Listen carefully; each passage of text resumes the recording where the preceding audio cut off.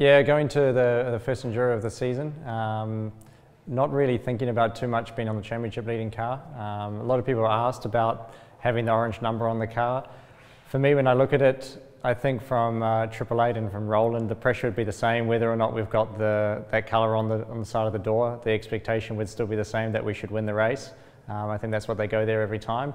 Sure, it's uh, important with the championship going on, but uh, like I said, I think we'd be expected to do the same job regardless of the colour on the door. The process between uh, what I normally drive with the Porsche 911 RSR compared to the, the V8 supercar, it's quite different. Biggest thing is obviously we're on the opposite side.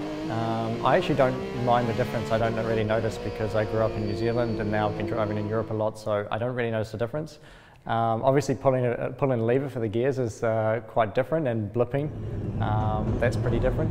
The rest of it's all um, pretty much the same. You know, it's got a steering wheel, it's still got three pedals, so um, you know, when you're a driver, you get in, you start to make a feel. We had a really great test day the other day with Shane, and I think it's also pretty important when you go with a guy like Shane, he knows the car so well, he knows all the procedures and he can sort of like bring you up to speed loads quicker with all the tricks of the trade. So that's probably the biggest help of, of anything is actually having Shane as a driver coach.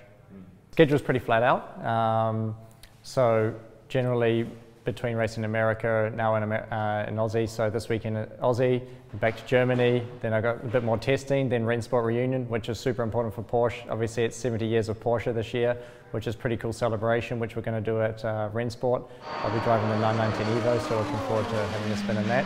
And then we got the big race of the year, Bathurst 1000, final race in America in between all that, uh, I had the great idea to try start a racing team this year. So um, I don't know if it's a brilliant idea or, or a horrible idea. I guess I'll find out in the future about that. But it's been fantastic. We've had the support of the Giltrap Group um, already on board, and we've got some great ideas for the future with some uh, young drivers and stuff like that. So um, also that's a cool project on the side. Uh, still finishing up 2018, so still got some big goals, um, especially with the Enduros coming up.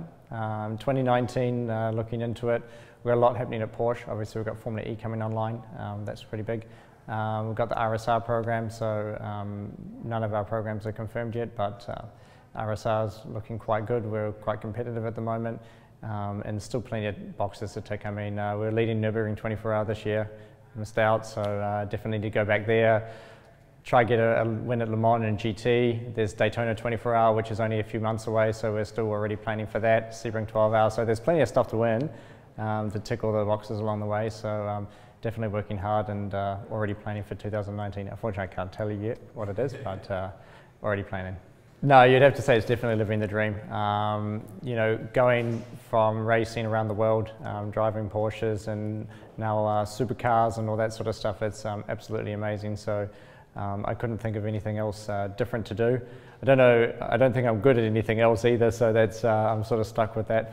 But um, also, the travel's hard, um, especially away from like family and friends. That's always difficult, but I think that's also part of the thing that you trade off being able to drive amazing race cars every weekend. Um, you know, anyone would give their right leg to be able to jump into the cars and, and do it each weekend, so we can't complain. Sometimes it's tough when we have tough weekends, um, but you've got to remind yourself that we're some of the luckiest guys in the business.